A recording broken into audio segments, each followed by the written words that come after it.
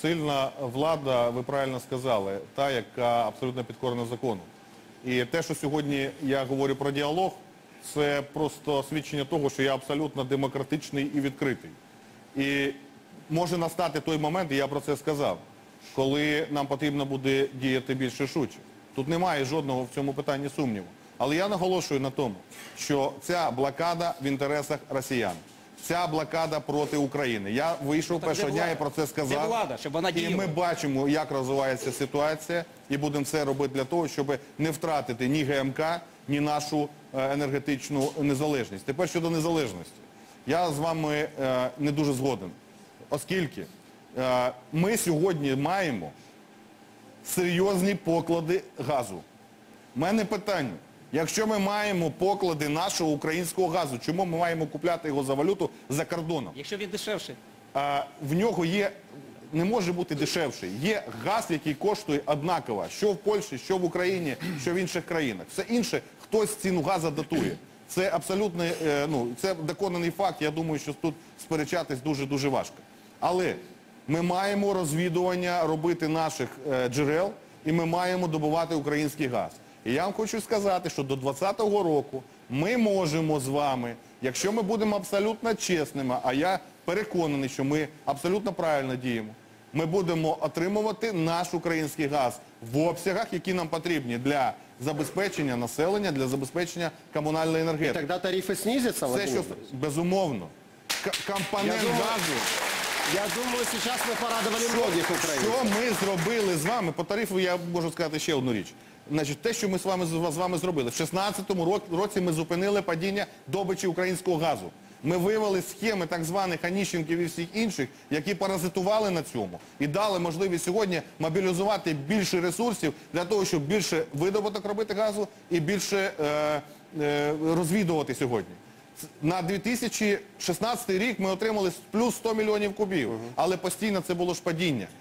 Я вважаю, що самий трагічний період це був 2005-2013 рік, коли держ- приватні компанії паразитували на державних надрах, коли приватні компанії отримували півтора сотні дозволів на добичу газу і працювали в своїх інтересах, Ну, понятно. а держава Владимир отримувала нуль. я вам хочу напомнить, Тому что уже не один енергонезалежність- политик, да, вот. ну, Енергонезалежність, хвилину. Енергонезалежність це пріоритет номер один. В тому числі енергонезалежність зробить міцною нашу економіку. Дякую. Е, насправді треба в першу чергу замислитись над тим, а в інтересах кого сьогодні відбувається е, дана блокада. Я її називаю блокадою енергетично-економічною. І я можу це довести. Чому так, це е, можна, можливо визначити. А, Разом з тим, е, я хотів би і повернутися до економічного зростання. Економічне зростання дає нам збільшення наших е, потенційних е, фінансових можливостей, конкурентних можливостей як держави. Ми маємо тенденцію до збільшення кількості робочих місць, тому що розвивається промислове виробництво. В питома вага, е, питома вага е, ГМК в е, і металургії в е, е, ВВП нашої країни 5,6%. Це достатньо значний е, відсоток е, для зростання. В ГМК працює там е, більше 300 тисяч людей. Мова йде про те, що фактично це торкається кожного з них. Є дві загрози. Одна енергетична. І от ви сказали про те, що ви знаєте, от ми пройшли зиму, от пережили її, там тарифи і так далі. Ви праві. Але ми це відбудовуємо для того, щоб в тому числі а, подолати корупцію, наприклад, в ціні формування ціни на газ. Я переконаний у тому, що пройде ще півроку, рік, і будуть вироки судів по так званим схемам Аніщенка, по яким всі українці дізнаються про ці мільярди, які лягали в кишені цим оборудчикам.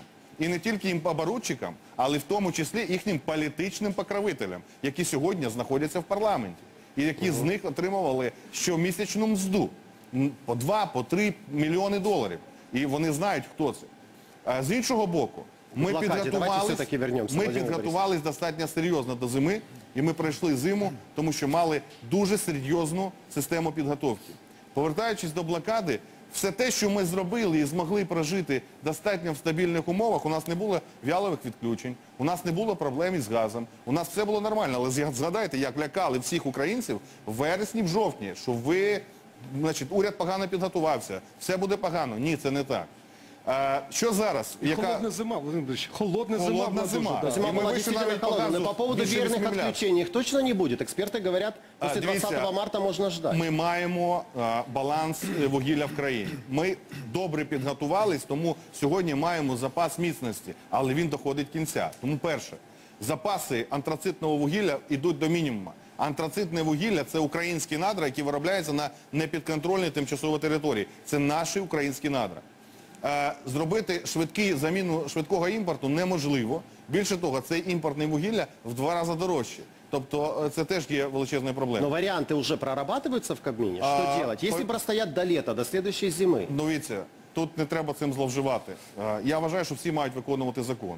Ви дайте мені відповідь чи не дайте відповідь, скажіть мені, дайте мені пораду. Якщо я буду, в- якщо я буду бачити, що на межі тотальних відключень 45 мільйонна країна, а, садочки, школи, лікарні, я не зможу за цим всім спостерігати. Всі мають це зрозуміти, тому що тут потрібна відповідальна державницька позиція. Ми, ми маємо це розуміти. Владимир Борисович, извините, но Другая сейчас позиция. складывается ощущение, что власть попросту не знает, как ей поступить. Другая позиция. Или перекладывает ответственность э, с одной из Друга головы моя на другую. позиція тут дуже чітка. Друга позиція економічна. Я сказав, що в ГМК працюють е, 300 тисяч людей. Мова йде в металургії. Мова йде, е, мова йде про те, що е, по попереднім розрахункам 75 тисяч людей можуть втратити роботу. Ми втратимо е, 3,5 мільярда, це правда. 3,5 мільярда доларів валюти, надходжень. Це негативно вплине на курс долара. Тобто всі будуть від цього нести е, е, збитки і за це будуть платити рядові українські громадяни. Я за те, щоб ми позбавились будь-якої е, позбавились будь-якої залежності і е, від будь-яких е, енергетичної залежності будь-яких країн. Але дуже важливо, що ми зробили це поступу- поступово. І я можу вам підкреслити, що уряд навіть за цих 11 місяців зробив немало для того, щоб стати більше енергонезалежними. Что через год, допустим, мы встретимся в этой студии, вы можете назвать три параметра, которые вы гарантируете будут достигнуты для э, простых украинцев? Именно три параметра, потому что говорить о ВВП, это, это все правильно. Окей, в следующем году, по идее, люди должны почувствовать то улучшение, которое началось в 2016, о котором мы говорим. Давайте так, по чем вы готовы подписаться через Ну, год? вопрос понятен, спасибо. Це те, що я говорю, я звик виконувати. І тут можливо сказати про ті кроки, які зробив уряд. А, Я обіцяв про те, що ми піднімемо вдвічі мінімальну заробітну плату. Я це виконав. І я вважаю, що це абсолютно правильний був крок по відношенню до українських громадян. Оце реальне ВВП, реальне його зростання, реальна конвертація в реальні заробітні плати. 4,5 мільйона, більше 4 мільйонів. Різні зараз цифри уточнення. Більше 4 мільйонів громадян вже на сьогоднішній день отримали підвищену заробітну плату. Це означає, що це був крок по відношенню якраз до простих українців. Ви запитали мене за підприємство, я буду дуже і дуже конкретним. Підприємства, які знаходяться на території України, а Донбас це Україна. Вони належать Україні, зареєстровані в Україні і сплачують податки в Україні. Тому це наші підприємства. Владимир Владимирович, Никто не спорит, Друга с тем, что позиция. это, никто Друга не позиция. спорит с тем, что это наши Друга предприятия. Как мы дотянемся до сепаратистов, как мы дотянемся до тех людей, и, Слухайте, как, и, ви- и как мы ви- это все Ви сделаем? задаєте надзвичайно, надзвичайно складні питання, над якими сьогодні працює весь світ. Яким чином агресора змусити повернутися в межі своїх кордонів? Це питання достатньо глобальне, да, геополітичне і, і, і глобальне, глобальне взагалі безпеки в світі. Тому що ворог захотів ще донедавна, вони були нашими сусідами і говорили про те, що вони наші друзі. Зараз вони стали нашими ворогами, тому що вони на нас напали, вони намагаються знищити нас як ззовні, так і зсередини. Тому я й говорю про те, що те, що відбувається з блокадою, це в інтересах Російської Федерації. І я можу це привести приклад не своїх слів, а, наприклад, заступника генерального директора Криворіжсталі. Вони 25% вугілля купляли українського за, за, українську гривню. Зараз у них є тільки два варіанти купити це вугілля або в Сполучених Штатах, що довго і дорожче, або в Російській Федерації. Тобто мова йде про те, що наше вугілля українське, яке закуповувалось за гривню і з якого платились податки в Україні, е, треба заборонити, а купляти в Росії. Це є диверсія проти нашої держави. Володимир Борисович, Тепер що я готовий Ну, тоді ж пообіцяти? ворог е, ті, хто блокує, Тепер що блокади. я готовий пообіцяти? Я готовий пообіцяти наступне. Я знаю про те, що е, зараз ведуться розмови, що уряд е, може піти в відставку. Е, я про це знаю. І я знаю, я- що для цього є, е, чому так люди говорять. Тому що десь ми зламали схему Аніщенка, Десь ми почали ремонтувати українські дороги. Ми продовжили реформу з децентралізації і робимо абсолютно правильні речі, і ви можете їх відчути. От там, де нормальний мер є на місці, вони отримали сьогодні ці мери 50 мільярдів гривень додаткових ресурсів. Там буде порядок, там, де мер господарський, там, де його немає, там буде безлад. Але виборці мають йому дати е, відповідь. Владимир Борисович, может Мы- пора уже тогда ломать и схему с блокадой? Ми, попал- ми поламали схему, том, это ми поламали схему щодо е, неконкурентності по питанням ліків. І я таких прикладів можу назвати дуже багато. Ми підняли МЗП, за, за що мене е, там критикують і так далі. Я можу тільки сказати єдине. Доки я прем'єр-міністр країни, я буду піднімати людям заробітні плати, я буду розвивати національну економіку. Я запропоную українцям справедливу реформу пенсійної системи. Я буду робити все для того, щоб українці отримували справедливим цінам ліки, а навіть їх отримували безкоштовно. Той, хто це. Я буду працювати на Україну і на українців. Сьогодні е, жодних негативних наслідків. Так, мене за це критикують, починаючи з грудня місяця. Всіх нас з вами лякали, що буде катастрофа. Катастрофи не відбулось, зрада відмінилась, будуть тільки перемоги. Зафіксуйте це. Я несу повну відповідальність за підвищення мінімальних заробітних плат в країні. Я переконаний у тому, що українські громадяни відчують від цього тільки позитив. Інфляція знаходиться в прогнозованих показниках. Це перше. Друге, ми маємо сьогодні надходження по всім, по всім параметрам, збільшення надходжень у всі бюджети, в тому числі тільки по лютому місяцю. Плюсом в пенсійний фонд 20 43%. Ну, то есть пока 43%. негативных последствий нет. Їх поки немає і далі не Владимир буде. Борисович, возьмите ответственность за повышение пенсии тогда. Еще прошу от имени А, пенсионеров. Я наголошую на тому, що я запропоную українським громадянам нову пенсійну систему, яка буде передбачати три речі. Перше справедливість.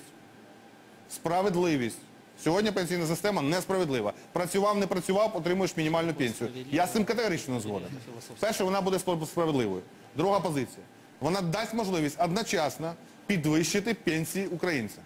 Це друга позиція. І третя позиція, вона в перспективі до 24-го року Сроки зробить пенсійний фонд можете? в 2017 році. Це найголовніше завдання для країни. Країна з таким, такою пенсійною системою, українці з такою пенсійною системою не можуть жити далі.